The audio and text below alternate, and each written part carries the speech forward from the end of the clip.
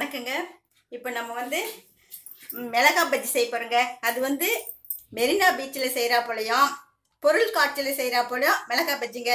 நம்ம வந்து மெரினா பீச்சுக்கோ பொருள் காட்சிக்கோ போனால் ஒரு ஒரு மிளகா பஜ்ஜி முப்பது ரூபா அதிக விலை கொடுத்து வாங்கி சாப்பிடணும் போல் இருக்குங்க. இது மாதிரி நம்ம ஆசைப்பட்டால் நம்ம வீட்லேயே இந்த மாதிரி மிளகாய் பஜ்ஜிங்க இது. பஜ்ஜி மிளகான்னு கேட்டால் கடையில் கொடுப்பாங்க.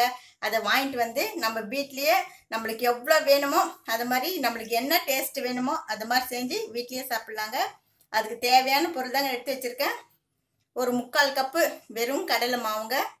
கால் கப்பு பச்சரிசி மாவுங்க. கொஞ்சமாக அதுக்கு தேவையான அளவுக்கு சால்ட்டு தேவையான அளவுக்கு வாட்டருங்க பெப்பருங்க டேஸ்ட்டுக்கு ரொம்ப நல்லா இருக்குது பெப்பர் போட்டு செஞ்சால் காஷ்மீர் சில்லி பவுடருங்க ஒரு ஸ்பூன் வச்சுருக்கேன். இட்லி சோடாங்க. நம்ம அது ஒரு பிஞ்சு போட்டுக்கலாங்க. இதெல்லாம் போட்டு மாவு கலக்கி எப்படி செய்யுதுன்னு பார்க்கலாங்க. நான் ஒரு எட்டு மிளகாய் பஜ்ஜி எடுத்து வச்சுருக்கேங்க. நான் எட்டு மிளகாய் எடுத்து வச்சுருக்கேங்க. எல்லாத்தையும் ரெண்டு ரெண்டாக இந்த மாதிரி கட் பண்ணி வச்சுக்கணுங்க.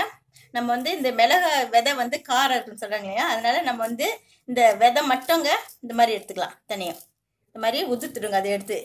ஏன்னா நம்ம குழந்தைங்களுக்கெல்லாம் கொடுப்போம் இல்லைங்களா? அதனால் காரம் அதிகமாக இருக்கும். அதனால் விதைய இது மாதிரி ஊற்றுருங்க எல்லாத்தையும் நம்ம இது மாதிரி எடுத்துக்கலாங்க. எப்பவுமே கட் பண்ணும்போது காம்போடு பண்ணால் நம்ம வந்து அதை பஜ்ஜி துவச்சி போடும்போது இந்த காம்பு இருக்கும்போது எடுத்து சாப்பிடும்போது அவ்வளோ நல்லா இருக்குங்க. அதனால தான் நம்ம அந்த காம்பு விட்டு பண்ணியிருக்கோம். இப்போ இந்த விதை மட்டும் எடுத்துடலாம். இந்த மாதிரிங்க எல்லாத்துலேயும் நம்ம விதையெல்லாம் எடுத்துட்டு உதிர்த்து இது மாதிரி வச்சுருங்க. எவ்வளோ க்ளீனாக இருக்கு இந்த மாதிரி தாங்க இருக்கணும். இப்போ நம்ம பஜ்ஜிக்கு மாவு பிசைஞ்சிக்கலாங்க. பஜ்ஜிக்கு மாவு பிசைஞ்சிக்கலாங்க. கடலை மாவுங்க நடத்திச்சுட்டு ஒரு கப்புங்க இது. பச்சரிசி மாவுங்க.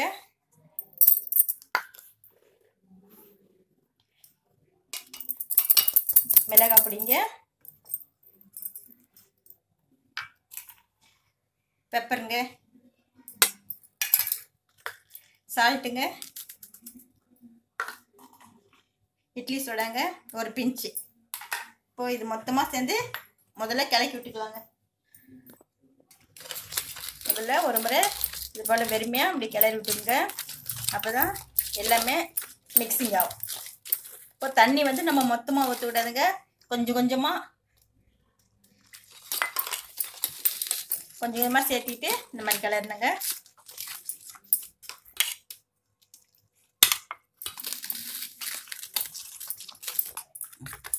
இந்த அளவுக்கு தாங்க இருக்கணும். பஜ்ஜி படத்துக்கு மாவு கலக்கிறது இந்த பாருங்க. இந்த மாதிரி தாங்க இருக்கணும். இதுதான் கரெக்டான அளவு. இப்போ நம்ம எண்ணெய் காய வச்சு இப்போ நம்ம மாவுக்குள்ளே நல்லா டிக் பண்ணி இது பாருங்க. நல்லா பிரட்டி இது மாதிரி எடுத்துங்க. எடுத்து காம்பு பகுதியோடு இருந்தால் இன்னும் நல்லாவே இருக்குங்க. எண்ணெய் காண்டிட்டு தாங்க நல்லாயிருக்கும்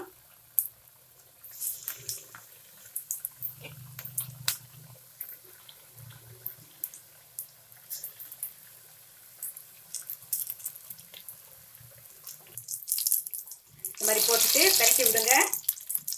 தீ அதிகமாக வச்சுட்டா மேலோட்டு வந்து ரெட்டிஸாக மாறி வெந்துட்ட போல தெரியும். ஆனால் உள்ள மாவு வேகாமல் இருக்குங்க.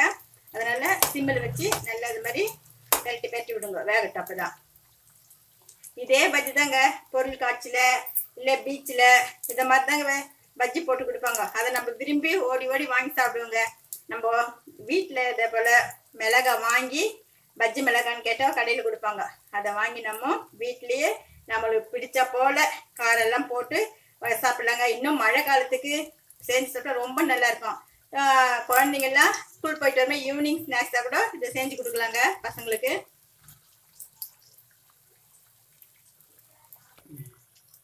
கலர் பாருங்க வெந்துட்டு இருந்தா கலர் இந்த மாதிரி தெரியுங்க. இல்லாட்டி மாவு பச்சை கலர்ல ஒரு மாதிரி மாவு கலராக தெரியும். இப்போ இந்த ஸ்டேஜில் நம்ம எடுத்துக்கலாங்க. நல்லா எண்ணெய் வடிச்ச பிறகு எடுங்க.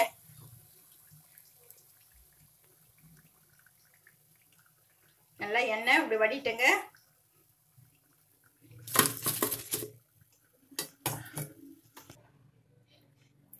கிறிஸ்பியான மிளகாய் பஜ்ஜி ரெடி ஆயிடுச்சுங்க. அதுக்கு தொட்டுக்கிறதுங்க நீங்கள் சட்னி இருந்தால் சட்னி வச்சுங்க. இல்லாட்டி டாலுங்க நல்லா இந்த மாதிரி இந்த அளவுக்கு இருக்குங்க திக்காக இருந்தாங்க தொட்டு சாப்பிட்றதுக்கு நல்லா இருக்கும். இந்த மாதிரி நீங்கள் செஞ்சு பாருங்கள் இந்த வீடியோ பிடிச்சிருந்தா லைக் பண்ணுங்கள் ஷேர் பண்ணுங்கள் மறக்காம தமிழ் ட்ரெடிஷ்னல் ஃபுட்டு சப்ஸ்கிரைப் பண்ணுங்க. பக்கத்தில் இருக்க பெல் பட்டன் ப்ரெஸ் பண்ணி நன்றிங்க.